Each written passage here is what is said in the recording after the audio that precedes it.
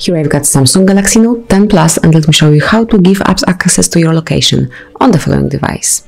So at first you have to open list of all applications, then find and pick the settings. Now scroll down a bit and open biometrics and security.